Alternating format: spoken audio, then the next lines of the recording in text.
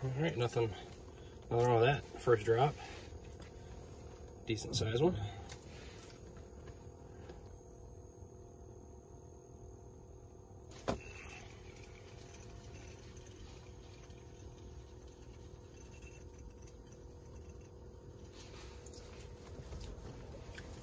Nice.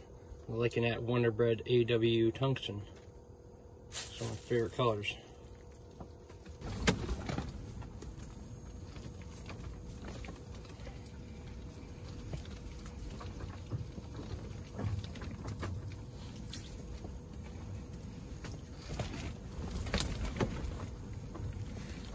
Hanger.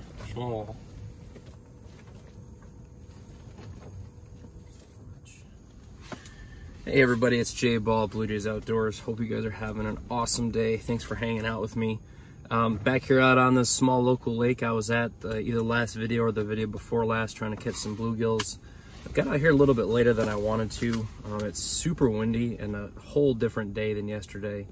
So yesterday the high was like 38 degrees and that was as warm as it's gonna get for like the next three or four days. It wasn't super windy. So of course this morning it was 18 degrees and blowing 15 to 20 mile an hour winds. So we're gonna stay in the shanty as long as we can. I've got some other holes drilled around. Uh, I've got to do a little bit of hole hopping, but we're pretty much in the same spot we started in last time. And um, I wanted to try a little bit different spot, but I got out here a little bit later and there's already some people there. So I just came out here to my old reliable spot. So hang out with me. I uh, can't make any promises. I'll do the best job I can showing you guys what's going on. But again, it's super windy and super cold. And anybody that's tried to make content in the wintertime knows that it is a little bit of a struggle. But I enjoy doing this stuff. I love sharing this with you. I can't thank you guys enough for all your support. So let's see if we can't catch a few panfish.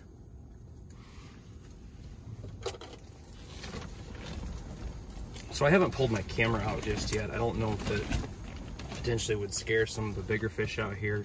I have caught uh, two decent ones like you guys saw. Um, but yeah, it'd be nice to catch a few just to have a little bit of a bluegill fry. I really like fry bluegill. But um, you know, like I said, I don't I don't ice fish this much this time of year. This is like the latest I ice fished in the last six years because I'm usually in full maple syrup mode.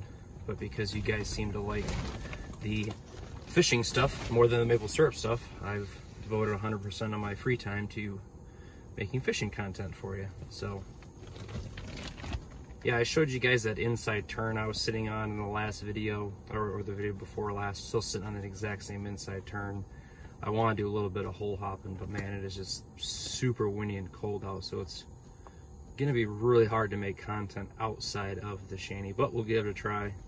Sounds like there's quite a few more people on the ice. When I got out here, there was only three guys, but if I look around, looks like there's probably about a dozen, maybe or so now, but we'll give this whole little area a try. I got about six of their holes drilled, so we can do a little bit of hole hopping if need be. So yeah, see what we can do.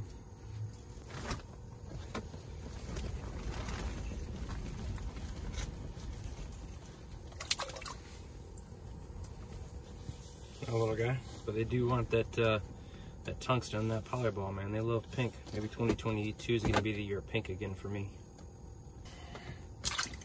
Bye-bye. Maybe. Try to show you guys what I'm using here. So this is an AW number four Wonder Bread with that pink polyball. And uh, as always, I'm sticking in the Lure Lipstick Waxworm formula. So I've been having pretty good success. I wanted to, you know, just pick up a few wax waxworms. I, I you know, I haven't bought waxworms in probably two years, and that was just out of necessity because it's really hard to find waxworms that haven't been refrigerated. And that's a little bit of a tip and trick for you. If you find waxworms that have been refrigerated and the same temperatures as worms, they're probably gonna die. So it's really hard to find waxworms that aren't already on the way out around here. So just out of necessity, I have gone completely away from them, but in all reality, if I want to improve my odds and give myself the best chances to catch fish and make content for you guys, I probably need to have some wax worms with me at all times. So I might start to have them just as another option. You know, a lot of the uh, tournament guys that are on the Lure Lipstick Pro staff do really, really good on plastics. And, you know, there's a time and place for plastics and, and live bait. So I just need to make sure I can increase my odds as best as possible. So I think I might have to just have them just in case on those days where they get really finicky. especially as the season gets on or gets later in the season.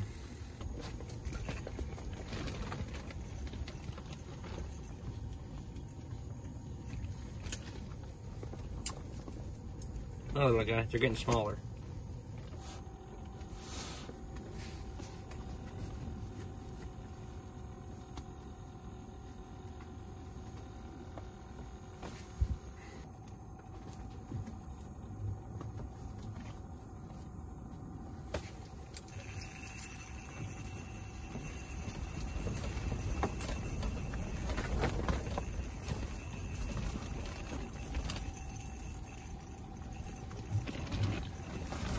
It's a nice perch.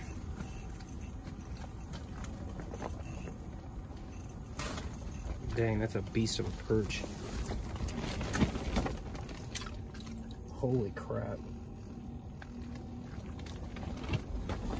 Check out that jumbo. Man, that's a beast. I'm gonna have to get some pictures and let that one go, but that is a beautiful, beautiful perch. Man, that is nice. That's, geez, he's probably 13 inches long. Man, we have to get some pictures of him. Just another look at that beautiful perch, guys. Look at the size of that thing. That is an absolute toad for this lake. I mean, if we look at it compared to the camera, it's a big, big perch. So beautiful, beautiful fish. Perch this big in this small lake definitely has to be let go. So let's get this fish back in the water.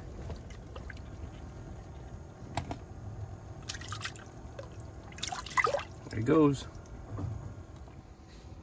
All right, man. I'm that that was a beautiful perch. Now I would probably bet you that 90%, 95% of people would keep that perch, but hey, there's a bass down there. I don't know if you guys can see it, but I'm telling you guys, perch that big on a lake this small. This is not a big lake. It gets overfished quite a bit. It's really important to practice catch and release. I know it'd be tempting to take a big bluegill like or a big perch like that home, but it just there's there's plenty of bluegills in here. You know, it's like perch like that, you gotta you gotta give them a chance. Those are that's a big big breeder. If I was on St. Clair or something, you know, might be a little bit different, but this small local inland lake here, you gotta be gotta be mindful of the lake itself. There we go. Now it's back in. Oh, there's fish right there already. How did he lose that? Seriously. He had that whole thing in his mouth.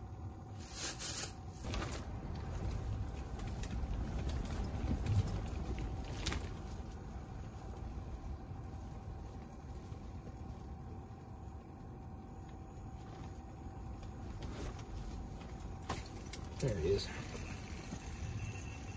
It's like a decent gill. Might be our third keeper. Oh yeah, I think it is, definitely. Might be a pumpkin seed. Yep. Nice pumpkin seed. There we go. That's a that's a nice fish there. Keep him.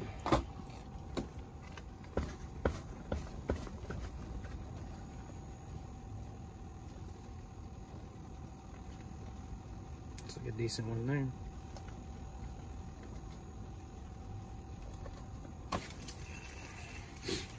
Oh yeah, that's a keeper.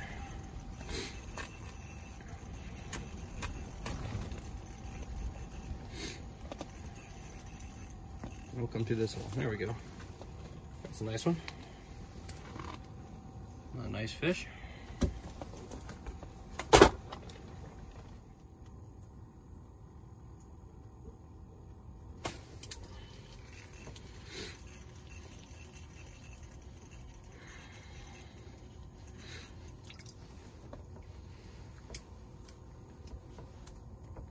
Another guy.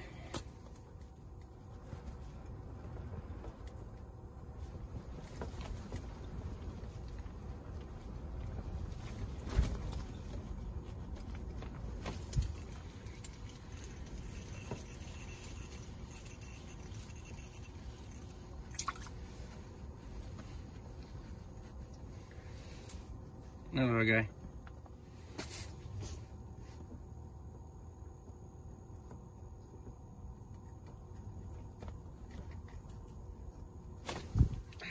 How, how, how?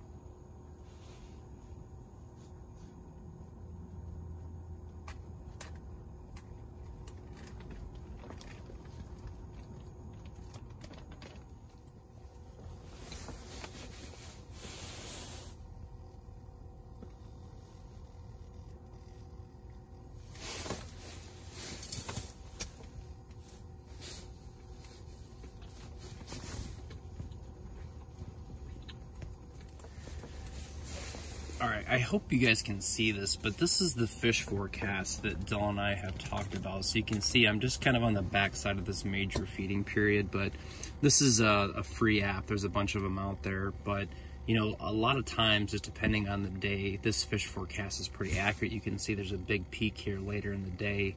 You know, you go to Sunday, it goes from 18% today to 49% tomorrow. So, you know, this is something that Dylan and I have been trying to pay more attention to. Um, you know, it, it's it's not, you know, I don't want to say it's 100% accurate, but it's actually pretty close. Um, so this is something that that we use on the radio to just kind of see what the activity is going to be like. So you can say today's a pretty poor day. We've done okay, but tomorrow it's going to be, you know, 50%. And you can see it's gradually increasing. So Monday, because I this is the free version, I didn't pay for this version. If you pay for this version, you actually can see a little bit farther out. But having this fish forecast app does help. So you can actually plan your days around fishing trips. It's almost like some of the deer forecast apps that, are out there. So just something to keep in mind. So hopefully there's a tip and trick you guys can use. Uh, look for these uh, free fish forecast apps. They do definitely help a lot.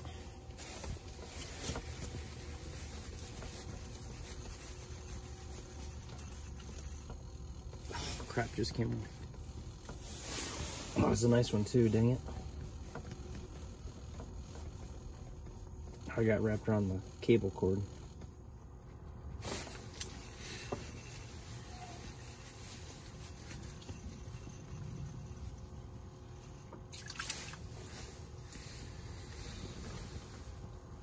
giant.